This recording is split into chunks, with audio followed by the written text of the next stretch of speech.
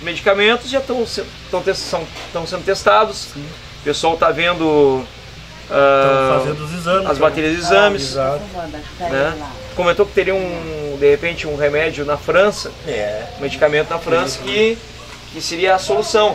Se não der certo agora. Se não der certo com esse medicamento que ela está fazendo aí, o doutor vai Vou encaminhar lá que já sabe que tem. Que tem, tem o recurso para curar, só que aqui no Brasil não. Eles falaram o nome da doença ou eles não conseguiram? Não, ainda não. Ou não falaram? Não, ele só falou que é uma bactéria, como é que se diz assim? Uma, rara. Uma bactéria rara e infectosa.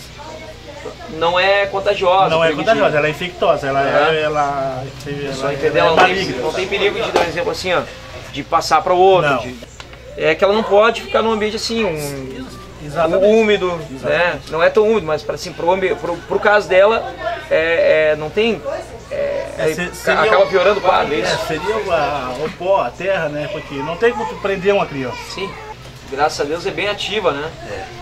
Eu sou muito fã do, do Gugu Liberato, só não tô vendo porque a minha visão técnica. É, bem dizer, me criei aqui, não nasci aqui, mas uhum. bem dizer, me criei nisso, ao redor aqui. Porque é, a gente também tem uma história que nem passa, né?